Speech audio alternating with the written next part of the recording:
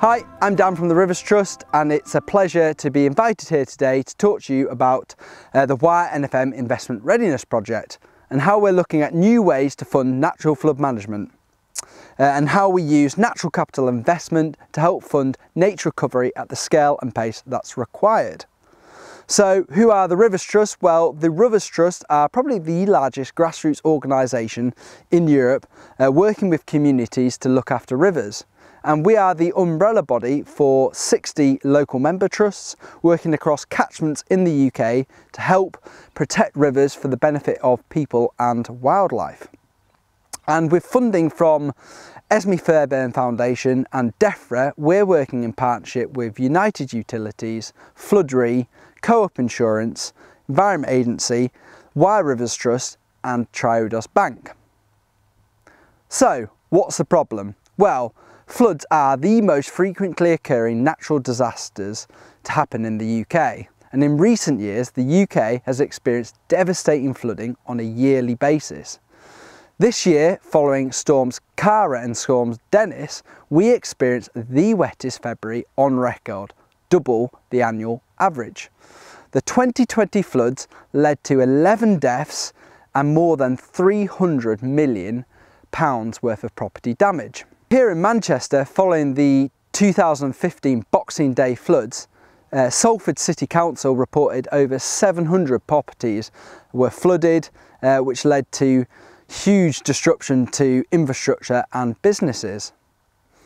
Uh, but we are also amidst a climate crisis and predictions only show the issues to get worse. The UN Intergovernmental Panel on Climate Change uh, showed that a 3% rise in temperature could lead to a further 400,000 people in Europe being exposed to river flooding, with the UK likely to be the worst affected. Not only are we in a climate emergency, but we're also experiencing biodiversity crisis, and we are losing biodiversity at a truly unsustainable rate.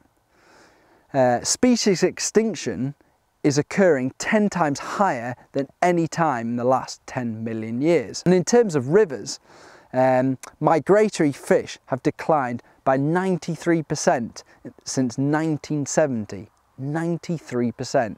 So we know hard engineered, carbon intensive flood risk solutions alone will not address our future flood risk challenges and must be supplemented with natural solutions that reduce the potential impact to property and infrastructure. Natural flood management is a way we can work with natural processes to help reduce the impact of flooding, create green jobs, and then as a result, more wildlife in green spaces. It perfectly aligns with the vision to build back greener. However, the mechanisms to finance the implementation of natural flood management at scale in the UK remain a significant barrier to uptake. So this project is focusing on flood affected communities in the Wyre catchment. We have brought together partners in this feasibility project who all have a strong interest in understanding the effectiveness of natural flood management and how it can be financed at scale and pace that's required. So why the Wyre catchment? We're going to talk to Tom from the Wyre Rivers Trust. Hi, I'm Tom. I'm the Programme Manager at the Wyre Rivers Trust. We deliver improvements across the Wyre catchment and I'll be talking to you about our communities in the lower catchment and how flooding affects them. So, the Wyre catchment. The Wyre catchment is situated around 35 miles from Manchester. It's home to the Forest of Bowland area of outstanding natural beauty. It takes in the Amounderness Plain and much of the Fylde coast. Uh, the mouth of the River Wyre is at Fleetwood, and the catchment is home to a wide range of activity, including agriculture and industry. Uh, the Wyre Rivers Trust, well, we work to improve the River Wyre and its tributaries and its catchment as part of the Rivers Trust movement and the wider catchment based approach initiative. Our projects focus on delivering multiple benefits for the Wyre catchment. Uh, we have a small but expanding team of three people, and we host our local catchment partnership, which is the Wyre Waters Partnership, and the Wyre Estuary Group, and we work with a wide range of partners. Uh, flooding in the Wyre catchment. Like most quick response catchments, the Wyre has seen regular flooding events, uh, and the flooding in 1927 and 1980 resulted in a typical response, uh, which includes maintenance and drainage, uh, hard flood defence structures, and an indifference to the river. Its ecology and its natural processes, uh, which are the defining features of any river, really, uh, it has left us with a river that's geomorphologically compromised and not performing for nature in any way, shape, or form. So our catchment is home to a very proactive community. Uh, community groups formed the Rivers Trust. It was three angling clubs. Um, it's also led to the, num- the, formation of a number of large flood action groups, uh, and both dependent- independently and in partnership. These groups deliver a wide range of activity to increase awareness of and solve issues in the Wyre catchment. A particular example of this is the Churchtown Flood Action Group, who created their own flood defence bund in the village of Churchtown, uh, which has proven to be a very successful project uh, and one that's received a number of awards. So we'll take a look at some of our existing natural flood management or NFM projects in the Wyre catchment. Uh, the Wyre NFM project is part of the existing DEFRA Community NFM programme and that focuses on the uplands of the Wyre. We also have some lowland NFM projects in the Thornton Flood Risk Resilience Project, which is working with local flood risk management authorities to reduce flood risk by using NFM in urban areas by creating wetlands and, and delivering river restoration projects. We can also involve some of the more health and social aspects of river restoration within that, uh, looking at health walks and social prescribing in terms of volunteering to deliver some of this work. Uh, there are a number of barriers to effective delivery which remain, particularly uh, that is the barrier which is the lack of funding and resources to deliver NFM at the scale and pace which is required to see it fully integrated into the flood risk management strategy in the Wyre. The overall goal of this project is to achieve investment readiness for a catchment scale NFM solution for catchments that can be implemented with green and social investment. The Wyre seemed like the perfect place to trial this new approach. So why are the Rivers Trust leading on this project? Well, as an NGO charity, we have the ability to engage with a number of organisations and businesses. And we also have a really good working relationship with farmers and landowners to enable us to deliver these features on the ground. We also wanted to ensure that uh, this was a social enterprise where any profits or revenue was going back into the local environment. Helping us on our journey is Triodos, a European sustainable bank, and Dan Hurd is going to talk to us about how we get to investment readiness. I'm Dan Hurd, I'm Head of Corporate Finance at Triodos Bank. We're working on a groundbreaking natural capital project up here in the Wyre catchment with the Rivers Trust. I'm going to be talking to you about the challenges of raising capital for this type of project. Hello, my name's Dan Hurd. I'm Head of Corporate Finance at Triodos Bank. We're the Corporate Finance Advisor to the Rivers Trust on this exciting pilot natural capital project in the Upper Wyre catchment. Our role in the project is to uh, help create the business case which will attract external private investment uh, that's the holy grail at the moment for the natural capital sector to prove that we can actually uh, bring in private money to deliver landscape recovery. I think we'd all agree that a river catchment is a logical place to start with a pilot project. Um, river catchments can deliver multiple ecosystem services from sort of source to sea. Uh, this particular project is focused around natural flood management. That is the primary driver. But we will be looking to develop revenue streams for three other uh, services, including carbon sequestration through tree planting, uh, biodiversity gain, and improved water quality. And the aim really is to uh, learn from this project. And there's a number of things that are going to be vital learning for us. You know, how do you bring multiple stakeholders together around a shared vision for the catchment?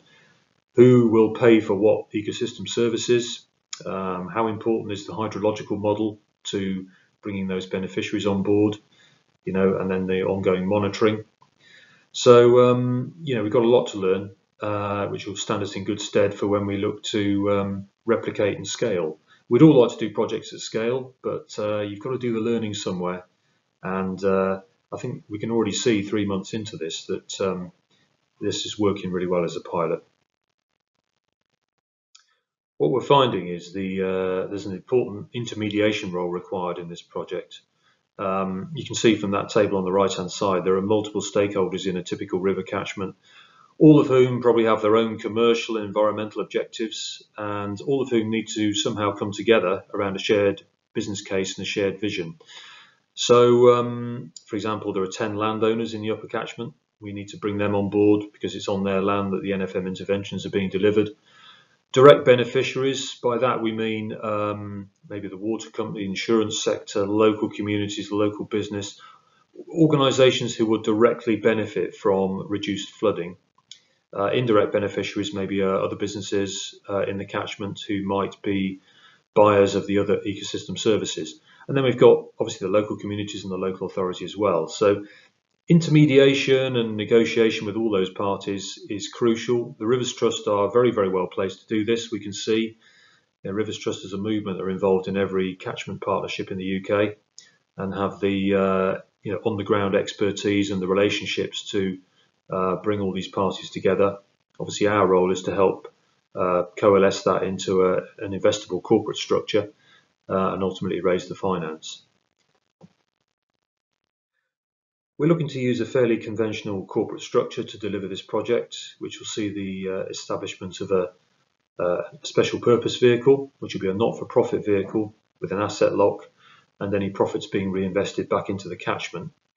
Uh, that approach has worked quite well actually over the first two or three months because it uh, engenders a bit of openness and trust in our uh, discussions and negotiations with all the various stakeholders. Um, so the SPV will be raising uh, external capital from investors. Uh, there may be an opportunity to blend that with some government funding. Uh, the SPV will then be entering into lease arrangements with landowners in the catchment on whose land the NFM interventions are going to be delivered.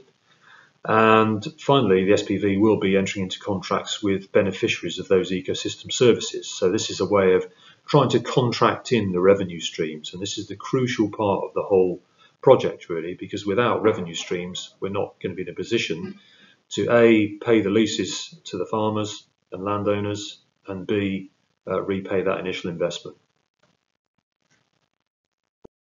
And finally, uh, here's a snapshot of some of the learning we're uh, getting from the uh, project already. Uh, just to pick one or two out, you know, what does it take to bring uh, beneficiaries on side, what will they pay for, what sort of contracting structure might be acceptable to them, uh, what is the reaction of the landowners to being uh, invited into a, uh, a long-term lease to host NFM interventions on their land, particularly you know with the uncertainty of Elm coming in in four or five years' time. Uh, and also the role of uh, the Environment Agency and DEFRA in helping us overcome some of the challenges that we get as we go through these discussions. So we're, we're making good progress. Um, it isn't easy. Uh, I think we'll get there. And uh, I'm very hopeful that we'll uh, be in a position to feedback on uh, a successful project in the Green Summit 2021. Thank you very much.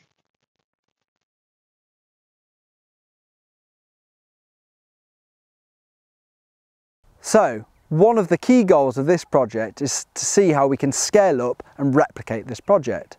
Can we use the lessons learned and adopt them to larger areas or even different ecosystem services?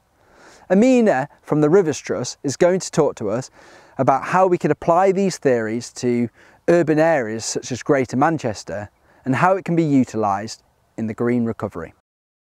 Hi, I'd like to tell you a little bit more about the scalability of the YNFM project.